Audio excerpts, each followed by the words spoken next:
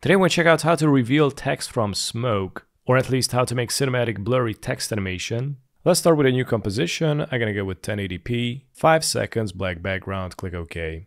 Right click here, new, select solid, this is going to be the background, click OK. Select the type tool, type in something, scale it, align it to the center. By the way, I went with the Neue Haas Grotesk Display Pro, bold italic.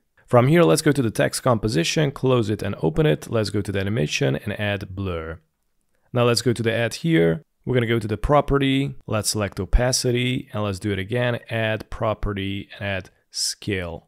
And as you can see, all these are going to appear here, scale, opacity, and blur. We're gonna go to the scale. I'm gonna add 87, decrease the opacity to zero. And let's go to the blur, and I'm gonna add 63. From here, we're gonna go to range selector one, open it up.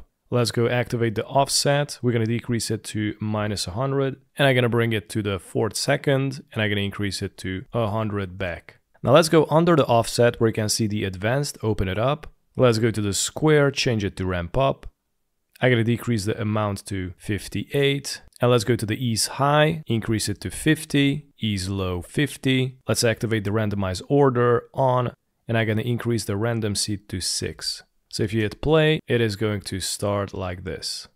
So it looks pretty good. Let's go here, click somewhere here, scroll up. Let's go to the animation and add the tracking. So basically this is going to increase the distance in between the letters and we're going to animate it. So I'm going to bring this back to the beginning and here we got the tracking amount. I can activate the stopwatch, increase it to 4, and I'm going to bring it to the end, and I'm going to decrease it to 0. Actually, I'm going to bring it to 4th second, and it looks like this. Now I'm to scroll up, close up the text layer, and I'm to right click, new, select solid, type in noise, click OK. Let's go to the effects and presets, type in fractal noise. Drag and drop the fractal on the noise layer, Let's go to the fractal type. Let's change it to swirly. Complexity is to be 3.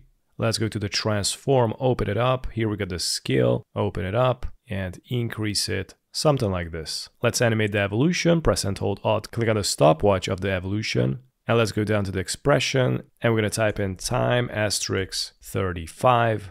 Click somewhere here. Now we're going to collapse the layer with the noise. Let's go to the mode and let's change it to overlay. If you don't have these blend modes, you can click on the toggle switch so it's going to appear or disappear. Now let's go and create a new adjustment layer, a right click rename, blur.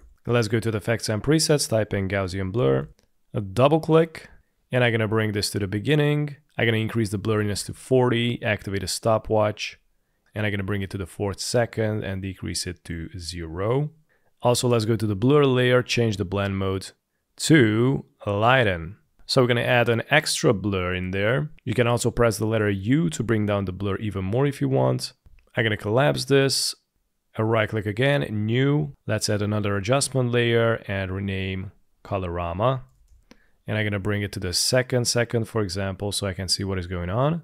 Uh, let's go to the effects and presets, type in Colorama double click and let's go to the output cycle, open it up and I'm gonna double click on the red. I'm gonna make it black, click OK. And I'm gonna select this green and bring it all the way up next to the black that is going to overlap. So as you can see, the black area, if you bring it here, it is going to make the text black. And if you bring it close to the black color, it is going to make the text green. I'm gonna double click on it and I'm gonna make it as a light gray, click OK. I'm gonna go to this dark blue and drag it on the left to make it disappear. I'm going to bring the yellow here and the pink in the opposite direction. So it's going to look something like this.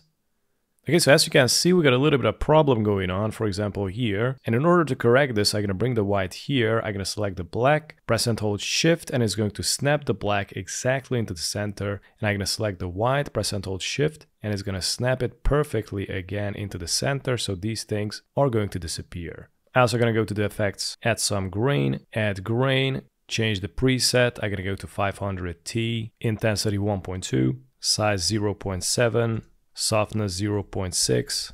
And let's go to the preview, change it to final output. So it's gonna make it really nice and grungy. And up at least I also gonna liquify the text. Let's select the layer with the text. Let's go to effects and presets, type in liquify, a double click, and I'm gonna bring this to the fourth second so I can see the text. And let's activate the stopwatch of the distortion mesh. Now I'm gonna press the letter U to highlight the keyframes here. So as you can see, here is the keyframe that we created and I'm gonna bring it here. And let's go back to the tools. I'm gonna select the third one, for example, and let's go to the twirl tool options. And here you can increase the brush size. I'm gonna go somewhere around 500 and I'm gonna start distorting. And I'm gonna select this new keyframe and bring it to the first second.